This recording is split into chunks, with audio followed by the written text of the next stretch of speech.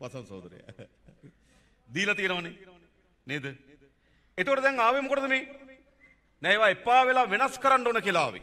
ස්තුතියි. සතුටු වෙන්න ඕන අපි. නේද? මෙච්චර කල් මේ පක්ෂ වලට කැන්වසින් ගිහලා ඡන්ද දීලා පෝලිං බූත් වල ඉඳලා දැන් මොකද වෙලා තින්නේ? ජාතික ජනබලවේගයේ විශ්වාස කරලා වෙනස් වෙලා ආවා. ඇයි ආවේ? ඒ ආණ්ඩු අපරාධකාර ආණ්ඩු. ඒ ආණ්ඩු රටේ ආර්ථික වැට්ටුවා.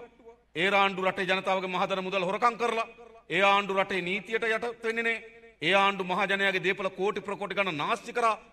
ඒක වෙනස් කරන්න ඕන කියලා ආවේ. එහෙනම් තනියම ඇවිල්ලා ඇතිද? මන්දිනේ. දැන් මොකද කරන්න ඕන? මේ හැම දෙනාම තීන්දුවක් ගත්තා වෙනසක් කරන්න ඕන කියලා. හැබැයි තීන්දුව ජයග්‍රහණය කරන්න නම් තව තව වැඩ කරලා අලුත් අය තව තව එකතු කරන්න ඕන. මොකද කියන්නේ? කරනවද නැද්ද? ඒක කරන්න ඕන. මම එක උදාහරණයක් කියන්නම් දැන්. මේ ගොවි ජනපද වසාගෙන තියෙන ප්‍රධානම රෝගය මොකද්ද? වකුගඩු රෝගී. ප්‍රධාන වශයෙන් වකුගඩු රෝගී. නේද? විශාල ලෙස වකුගඩු රෝගයට ගොදුරු වෙච්ච අම්මලා තාත්තලා ඉන්නේ. එක කාලයක් අපිට හම්බුනේ අවුරුදු 65ට 70ට වඩා වැඩි අය තමයි වකුගඩු රෝගීන් හිතට හම්බුනේ. තව අවුරුදු 4ක් 5ක් යනකොට අවුරුදු 60 අය හම්බ වෙන්න පටන් ගත්තා. වකුගඩුව නරක් වෙලා. තව අවුරුදු 5ක් යනකොට අවුරුදු 50 වකුගඩුව නරක් වෙච්ච අය හම්බ වෙන්න පටන් ගත්තා. තව අවුරුදු 5ක් යනකොට අවුරුදු 40 වගේ අය වකුගඩුව නරක් වෙලා හම්බ වෙන්න පටන් ගත්තා. දැන් මොකද වෙලා තියෙන්නේ? දැන් අවුරුදු 35 30 දරුවෝ හම්බ වෙනවා වකුගඩුව නරක් වෙලා. හේතුව මොකක්ද? හේතුව මොකක්ද? දැන් මේක ගොවි ජනපද වියස් ගොවි ජනපදවල පුරවැසියන්ට ව්‍යසනයක් බවට පත් වෙලා මේ වකුගඩු රෝගේ පැතිරෙනවා. වකුගඩුව නරක් වුණොත් ගෙදර ස්වාම් පුරුෂයාගේ මොකද වෙන්නේ? මුළු ගෙදරම කඩා වැටෙනවා. සාමාන්‍ය ලෙඩක් වගේ නෙවෙයි. වකුගඩු රෝගය වැළඳුනහම මොකද කරන්නේ? විශාල වියදමක් දරන්න වෙනවා එයාට බෙහෙත් හෙත් හොයන්න. ඉඩම විකුණලා ඉඩම උගස් තියලා බෙහෙත් කරන්න සිද්ධ වෙලා තියෙනවා. අස්වැන්න නෙලාගෙන ගෙනාවොත් මහකන්නේ වී සියල්ල විකුණලා වී තොගේම විකුණලා තාත්තට බෙහෙත් කරන්න වෙලා තියෙනවා. වෙලා නැද්ද? මට මේ මිට අවුරුදු කීපයකට කලින් අනුරාධපුරේ තිරප්පණි හොඳට මහකන්නේ අස්වැන්න නෙලලා ගොයි මහත්තයා වී ටික ගෙනාව ගෙදර. ගෙදර අයා ගෙනලා ලියුමක් ලිව්වා. මම විශාල ලෙස වගා කරලා වී අස්වැන්න ගෙනත් තියෙනවා. හැබැයි මම ජීවත් වුණොත් මේ ටික වියද මේ ටික විකුණලා මට බෙහෙත් කරනවා. එතකොට ගෙදර අමාරු වැටෙනවා කියලා වහ බීලා මැරුණා. ඇයි? ගොයි මහතුරු දන්නවා ගෙදරක වකුගඩු රෝගයක් හැතෙනවා කියලා කියන මොකද්ද? ගෙදරම විය අවසන් වෙනවා. එහෙම නෙවෙයිද? ඉඩ කඩම් විකුණන්න වෙනවා. ගෙවල් උකස් සියන්න වෙනවා. නේද? දීපල සියන්න සින්න වෙන්න වෙනවා. තීන මුදල පොත ඉතුරු වෙලා තිබුණා සියල්ල නැතු වෙනවා. නේද? ලෙඩ වෙනවා. ස්වාමියා මැරෙනවා. පවුල අනාථ වෙනවා. වෙලා නැද්ද? ඒකනේ මේක විශාල ව්‍යසනයක්. යුද්ධටත් වඩා බරපතල ව්‍යසනයක් අද අපේ ගොයිබම් ගොයිබිම් පුරා පැතිරමින් තිබෙනවා. දැන් මොකද වෙලා තියෙන්නේ? තාම හොයාගෙන තියෙනද පරීක්ෂණයකින් මේ වකුගඩු රෝගයට හේතු හොයන් තියෙනවද? හේතු හොයාගෙන නැහැ. ඒකට එම පරීක්ෂණ වැඩිය කරන්න උනන්දුවකුත් නැහැ. ඇයි? ඒක නිකන් ඔය කොළඹ ඒගොල්ලන්ට හැදින්නේ නෑනේ. ඒගොල්ලන්ට හැදුනා නම් බලා ගන්න තිබ්බා පරීක්ෂණ. නේද? ඒ ඒගොල්ලන්ගේ කට්ටියට මේක හැදෙන්නේ අහලා තියෙනවද?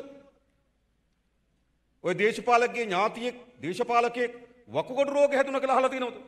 අහලා නැහැ. හැබැයි ඩෙන්ගු හැදුන කියලා අහලා තියෙනවා. ඩෙන්ගු වනතර කරන්න මාරාන්තික පොරේ. ඇයි මදුරුව ඒගොල්ලන්ටත් විදිනවා. හොඳයි එහෙම හරි.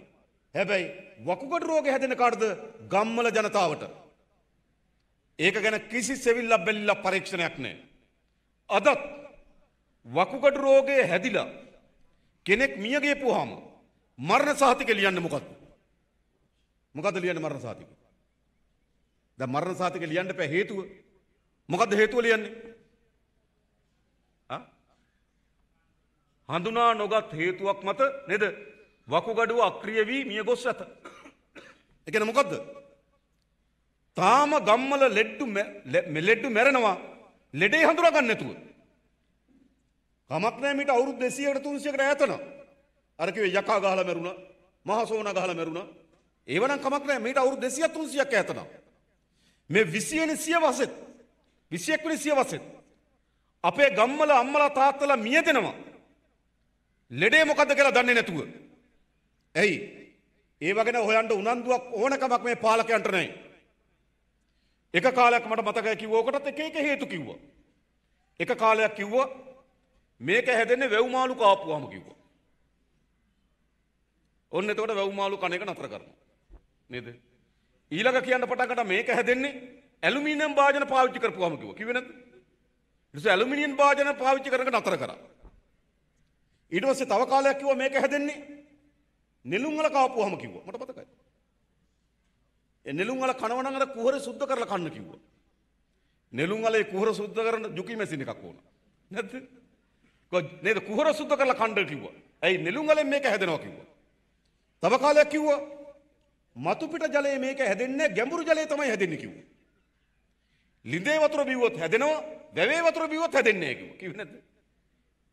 හැබැයි තව කණ්ඩායමක් කිව්වා නාත දෙයියෝ කිව්වා මේක තමයි හේතුව කියලා. නාත දෙයියොත් කිව්වා. ලේසි නෑ. ඒ කියන්නේ හොයාගන්න පුළුවන් හැම පැත්තෙම හොයලා තිනවා. ඒත් ලෙඩේ මොකද්ද කියලා දන්නේ නැහැ තාම. ඇයි ඒ? නිසි පරීක්ෂණයක් සිදු කරන්නේ නැහැ. ලෝකේ හඳට යන ලෝකයක් තියෙනවා. හඳේ පර- පස පරීක්ෂා කරන ලෝකයක් තියෙනවා. හැබැයි ඒ ලෝකෙම දෙහියත්ත කණ්ඩිය තියෙනවා. හේතුව දන්නේ නැතුව මිනිස්සු මැරෙන. ඒකෙන් කියන්නේ මොකද්ද? මේ පාලක කණ්ඩායම් අපේ රටේ සාමාන්‍ය ජනතාවගේ ජීවිත නොසලකිලට භාජනය කරන සැලකිල්ලට බඳුන් කරන්න නැති ජීවිත බවට පත් කරගෙන තිබෙනවා. අන්න ඒකයි අපිට පොදු ජනතාවගේ ආණ්ඩුවක් ඕන. ජාතික ජනබලවේගේ ආණ්ඩුවක් ඉතා වේගයෙන් පරීක්ෂණ කරලා මේට හේතුව හොයා ගන්නත් මේ පැතිරීම වැලැක්වීම සඳහා අපි ක්‍රියාමාර්ග ගන්න. එතෙක් එතෙක් අපි දන්නවා ඒ පවුලක තියෙන අසාධාරණය. බෙහෙත් ටික ගන්න බැරුව වෙනවා. පවුලේ ආර්ථිකය කඩා වැටෙනවා. ස්වාමියාට වැඩ කරන්න බැරුව වෙනවා. අන්තිමට ස්වාමියා බලා ගන්න කෙනෙකුත් ඕන වෙනවා. ඒක අමතර බරක්. ඒ බරක් වෙනුවෙන් වකුගඩු රෝගීන් සඳහා දැන්ට දෙන දීමනාව සාහතික වශයෙන් මීට වඩා වැඩි දීමනාව බවට පත් කරන මේ හොරකම් කරපු ධනය අරන් ඒ අයට බෙදලා දෙනවා මතක තියාගන්න. කරන්න ඕනේ නැද්ද? ඇයි ඒ පවුල බලා ගන්න ඕන? ඒ වැඩේ අපි කරන්න ලෑස්ති. මම මේ කියන්න හදන එකින් එක වෙන මොකවත් නෙවෙයි. ඒගොල්ලන්ගේ උවමනාවයි අපේ උවමනාවයි දෙකක් කියන්න. මෙච්චර කල් ආණ්ඩු හදපු කණ්ඩායමගේ උවමනාව මොකද්ද? මෙච්චර කල් ආණ්ඩු හදපු අයගේ උවමනාව ප්‍රධාන වශයෙන් ගත්තොත් ඒගොල්ලන්ගේ කට්ටිය රැක බලා ගන්න. ජාතික ජන බලවේගයේ ආණ්ඩු උවමනාව තමයි මේ රටේ පොදු ජනතාව බලා ගැනීම තමයි අපි පළමු කාර්යභාරය බවට පත් වෙන්නේ. ඒ විතරක් මේ පළාත්වල කොච්චර විනාශයක් කරනවද මේ වනාලි අනතුර.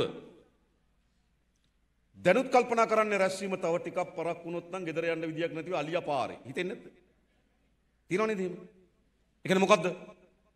වගාව විනාශ කරනවා. භවභෝග විනාශ කරගන්නවා. දේපල විනාශ කරනවා. ජීවිත විනාශ කරනවා. ආණ්ඩු මොකද කරේ? වල්ලලිය කියන්න එපා කැතයි කියලා වනාලිය කියන්න පටන් ගත්තා. ඔච්චරයි කරේ. නම මාරු කරා. මට මතකයි එස්.එම්. චන්ද්‍රසේන ඉන්න කාලේ ගැසට් එකක් ගැහුවා. මේ වල්ලලිය කියන එක නිකන් අප්සෙට් වල්.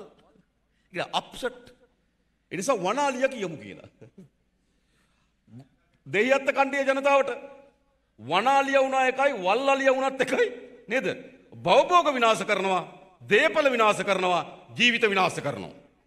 ඒ විතරක් නෙවෙයි අලිත් විශාල ප්‍රමාණයක් විනාශ වෙමින් තිබෙනවා. දැන් මේකට ස්ථීරසාර විසඳුමක් හොයන් තියෙනවද? මේක එන්න එන්න අඩු වෙනවද වැඩි වෙනවද? වෙනදා ආපු නැති නගරවලට දැන් එන්න පටන් අරගෙන තියෙනවා. අරගෙන නැද්ද? අපිට මතකයි නේද? අපේ ගමේ ගත්තත් අපි කුඩා කාලේ අලි හිටියේ නේ. දැන් එනවලු. ඒ කියන්නේ දැන් මොකද වෙමින් තිබෙන්නේ? මේ අලි තරජනය. එන්න එන්න වැඩි වෙමින් තිබෙනවා අඩු වෙමින් නෙවෙයි තියෙන්නේ. එහෙනම් මොකද කරන්න ඕන? මේ පාලකයන් මේකට ස්ථීර විසඳුමක් කිව්වේ නැහැ ඒ වෙනුවට මේක වැඩි කරා. දේශපාලක මැදිහත් වෙලා අලින්ට ඉන්න කැලෑ ටික විනාශ කරා. දේශපාලක මැදිහත් වෙලා අලි කොරිඩෝවල් ටික විනාශ කරා. දේශපාලක මැදිහත් වෙලා නේද අලින්ට තිබුණු ආහාර සියල්ල වනාන්තර විනාශ කරලා විනාශ කරලා දැම්මා. ඒ නිසා ඇත්තටම අලියා ගමට පැන්නට අලියා තල්ලු කරේ මේ ආණ්ඩු ගමට. අලියා අලියාගේ කකුල් හතරෙන් තමයි ඇවිදගෙන එන්නේ. හැබැයි පිටිපස්සිතන් තල්ලුව දුන්නේ මේ ආණ්ඩු. මීට අවුරුදු 10ක් 15කට කලින් මේ ව්‍යසනේ මේ තරම් තිබුණේ නේ. හැබැයි අදක ව්‍යසනයක් බවට පත් වෙලා තිබෙනවා. මීට අඩුවෙන් තියෙනකොට මේක වළක්වා ගන්න බැරි වුණා. මේක අඩුවෙන් තිබුණු කාලයක් තිබුණා වළක්වා ගන්න බැරි වුණා. හැබැයි අද වර්ධනය වෙලා වර්ධනය වෙලා වර්ධනය වෙලා නේද? අවු- අවුරුද්දකට ආසන්න වශයෙන් මිනිස්සු 200ක්වත් අලි ගහලා මැරෙනවා. හැබැයි ඒ එක පුරවැසියෙක්වත් අර දේශපාලකගේ ඥාති නෙවෙයි. එයාගේ යාළුවෝ නෙවෙයි. එයත් එක්ක රැයට නයිට් ක්ලබ් එකේ හම්බෙන කට්ටිය නෙවෙයි. එහෙම වුණා නම් බලන්න තිබ්බා. එහෙම නෙවෙයි. නේද? මැරෙන්නේ කවුද? මේ සාමාන්‍ය ගම්මල අම්මලා තාත්තලාගේ දරුවෝ අම්මලා තාත්තලා තමයි මිය දෙන්නේ. ගාණක් නැහැ. නේද? අලිගාල මේ අවුරුදු 200ක් මරනවා කියලා ප්‍රවෘත්තියක් ආවොත් ඒගොල්ලන්ට හිතෙන්නේ 200ද? ආ. ඔච්චරයි. සාමාන්‍ය ජනතාව ගැන හිතන තෙතමනයක් හදවතක් නැති පාලකයෝ.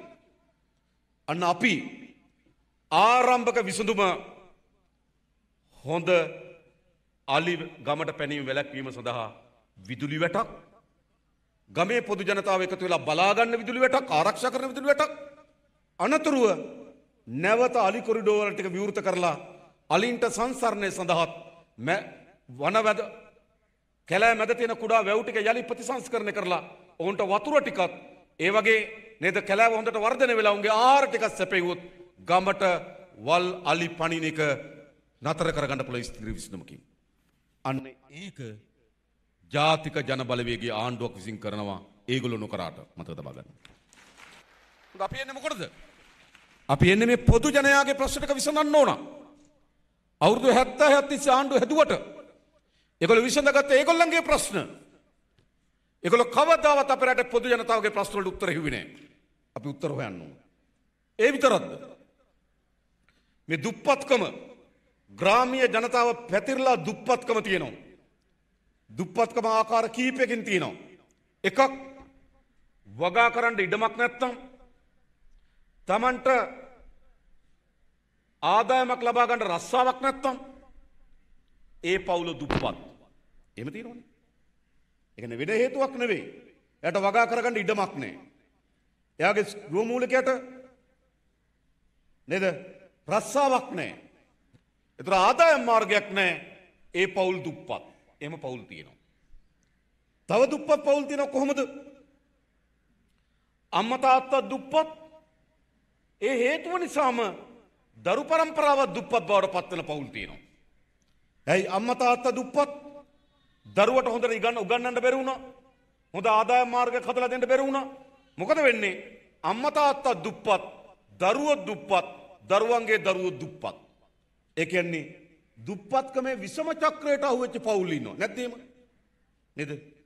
සමහර අය ඉන්නවා ආදායම් මාර්ගයක් නැහැ මේ වෙලාවේ. රස්සාවක් නැහැ මේ වෙලාවේ දුප්පත්. සමහර පවුල් ඉන්නවා අම්මා තාත්තා දුප්පත්, දුවා දරුවෝ දුප්පත්, එයාගේ දුවා දරුවෝ දුප්පත්. එමෙ දුප්පත් පවුල් ඉන්නවා. තව දුප්පත් පවුල් ඉන්නවා. තම රස්සාවක් කරමින් හිටිය රස්සාව නැති වුණා.